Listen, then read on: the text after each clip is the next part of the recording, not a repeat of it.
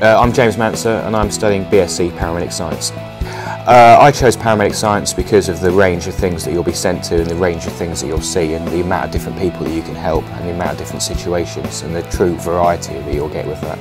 I chose Bedfordshire University because uh, when I came down here for my interview I spoke to a few of the lecturers and I saw the facilities that were on offer and I really felt that it was really good and I felt that compared to other universities there was a lot of uh, a lot of variety of different things that we could use and speaking to people they seem really enthusiastic about the course as well.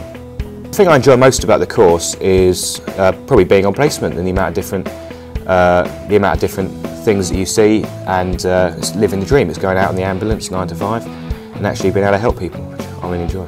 Uh, practically, this, this year we're starting to do our trauma module, which will be enable us to do a full trauma assessment. Uh, we can do uh, cannulation and intubation when we're trained in that properly. Uh, so we're getting a lot more hands-on this year with regards to actually doing stuff and the actual sort of physical things that we can do on placement as well.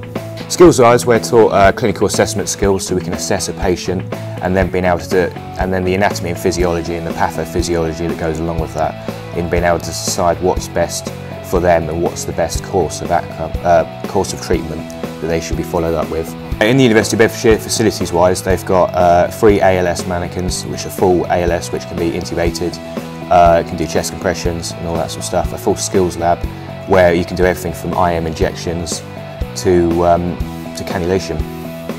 Oh, it's very important to have access to these facilities because uh, obviously the first time you do it, if it's on the road, you're going to be nervous. You know, it's good to get that sort of experience of actually practicing doing it, or not on a live person, before you actually have to do it on a live person.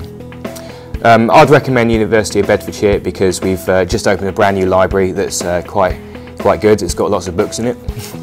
um, it's a very vibrant place and very, I, I enjoy living here. It's a nice place to live.